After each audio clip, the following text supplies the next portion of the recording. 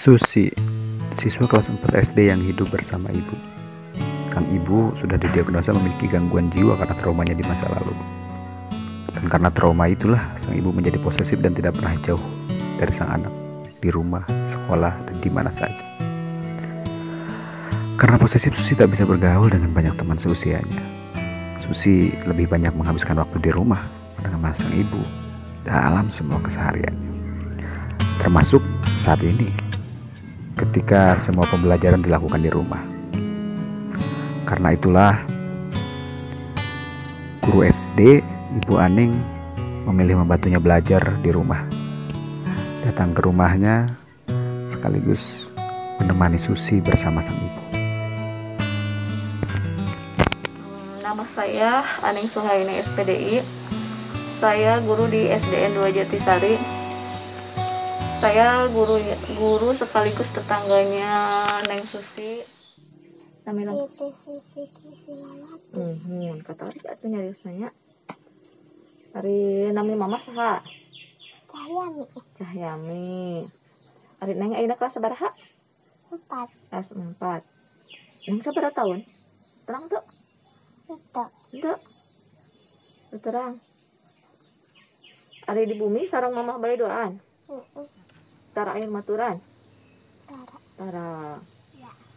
Neng sayang tuh ke mama. Itu. Hah? Ke mama sayang tuh. Karunya tuh neng ke mama. Sayang. Uh. Susi senang belajar.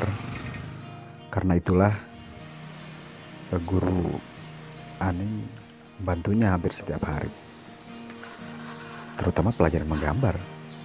Susi sangat senang sekali. Neng suka bantuan masak. Tidak menggambar sahur. dalam buku gambar, Karena mama wae nu masakna. hasil yang digambar Masak Susi tadi? bagus. Wangi mama. Lihat saja tabuh 12 goresan ya. warna,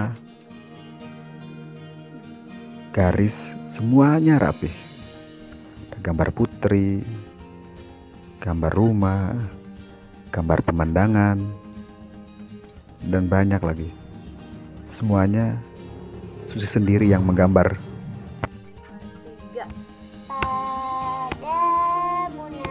Hal lain yang disukai Susi adalah bernyanyi, kadang juga bersolawat.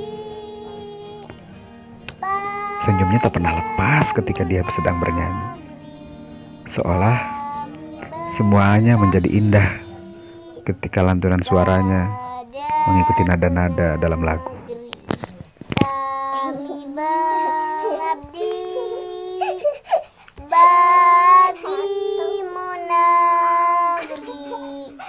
Ayah Susi sudah lama meninggal, tepat ketika usianya sebelum 2 tahun. Selama 10 tahun, Susi sudah hidup bersama sang ibu yang kondisi mentalnya labil.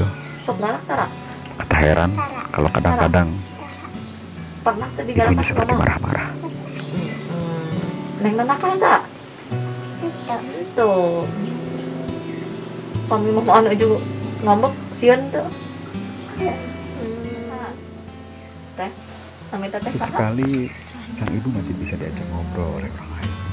Karunya tuh kan yang susinya Kalau ah, kondisinya sedang stabil dan ingatannya sedang maaf pisan. baik. Anu neng susi bade disakolkeun deui moal isupan.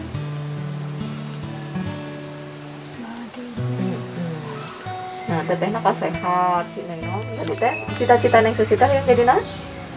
Suster. Oh, kunaon hayang jadi suster? Ai suster purah naon damel Obat. Oh, ngobatan nu udur. Oh, neng bade ngarawat nu udur. Hayang ngarawat sana Neng. Ngarawat saha bade ngarawat saha?